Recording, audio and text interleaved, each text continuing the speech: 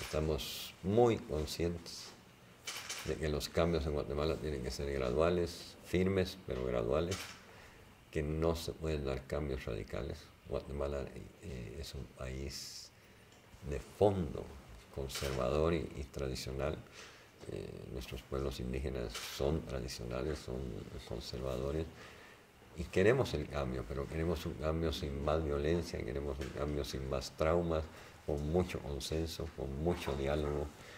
Eh, otra metodología eh, llevaría otra vez a la confrontación y a la polarización, que es lo que precisamente queremos evitar.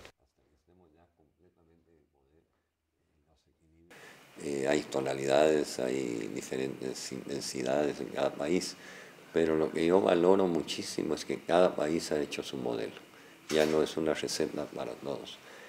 Eh, por ejemplo, el presidente Lula, la presidenta Cristina Kirchner y, la presidenta Bachelet eh, están en un rango, pero no se puede comparar a uno con otro, porque son estilos de gobierno, partidos, sistemas políticos distintos y nosotros pretenderíamos ser la, punta de lanza para Guatemala, eh, estableciendo un modelo socialdemócrata, pero verdaderamente guatemalteco.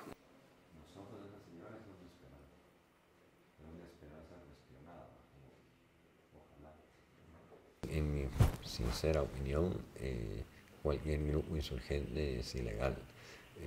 Eh, los motive cualquier ideal, los motive cualquiera es es una acción ilegal porque hay un Estado legítimo.